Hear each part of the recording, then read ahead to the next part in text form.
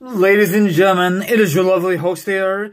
It is Team RyRy. How's everyone doing? And it's Thursday's edition and also happy Thanksgiving to everyone around the world if you celebrate it. Thanksgiving, leave a comment down below. Now it is time to get the video started and I will discuss for you wrestling news, wrestling topics, and a lot of awesome information to discuss for you. Now if you like, sit back, relax, put your feet up, grab some eat, grab some drink. Now if you don't do like that, maybe you want to chill like a villain and hear my lovely thoughts, my opinions, and the subject, and of course, the article will be down below. Let's rock around. Now, what do you guys prefer? Shawn Michaels performing in front of a huge crowd or behind the scenes? I'm just wondering. Now, he did great things for the fans. He had his last match at Crown Jewel. What was it last year? It should have just been at Mania, but I guess he turned down the opportunity to face AJ Styles. I think that was just a rumor. And, you know, now he's doing good things for behind the scenes with NXT. You know, recently just saw him part of this Survivor Series invasion with with uh, NXT invading Raw and um, SmackDown, and the ratings when skyrocketed for each brand. Now, Survivor is out of, out of the picture. Now they're going to concentrate on the next pay per view is TLC.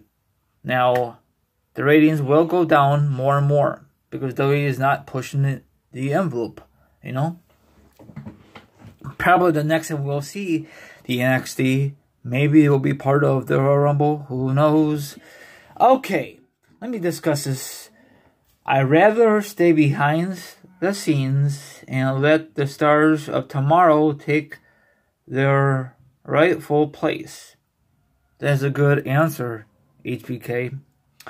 My time has come and gone. I totally agree. I wish a lot of these older wrestlers feel the same way, but they always want to be on TV, always wants a freaking spotlight, like Ric Flair. Okay? Not that long ago, he's with his lovely pain in the butt, in my opinion, Charlotte Flair.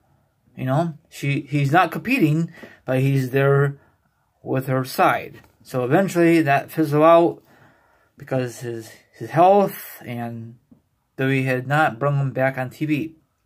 Thank God, you know.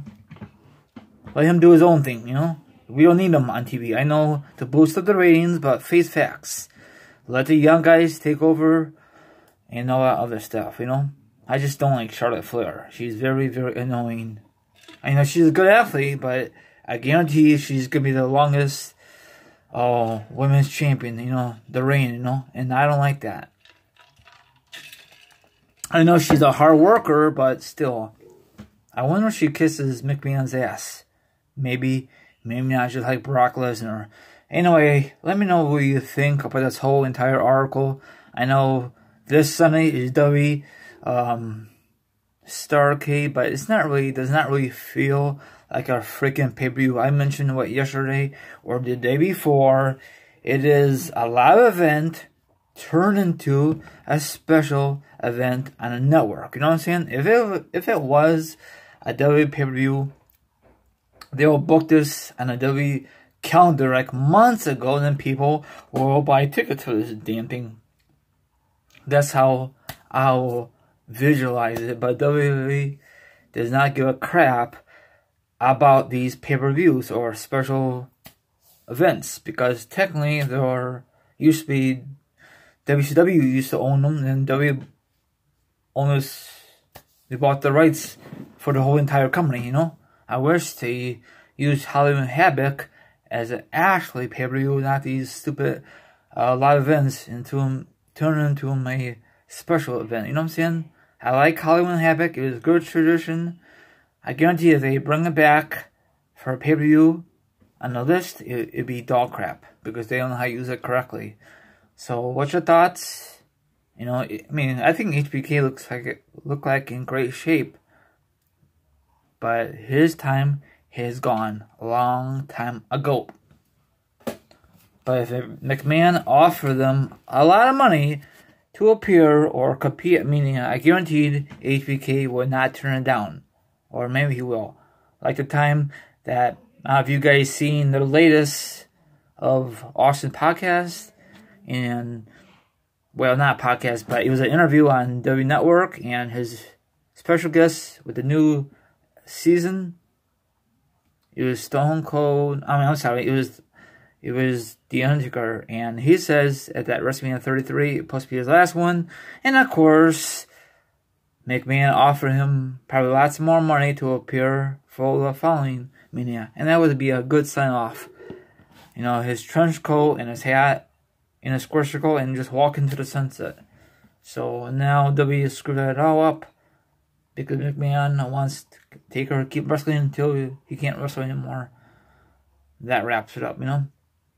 So I think it has been 30 years already since he debuted at that um Survivor Series. Is that nuts? Wow, 30 years in the making. He needs to hang it up. Taker just say no to McMahon, okay? It's not that hard to say no to him. He'll get over it. Everyone out there, I'll be back tonight. The article will be down below. My other social media accounts will be down below also. Peace out.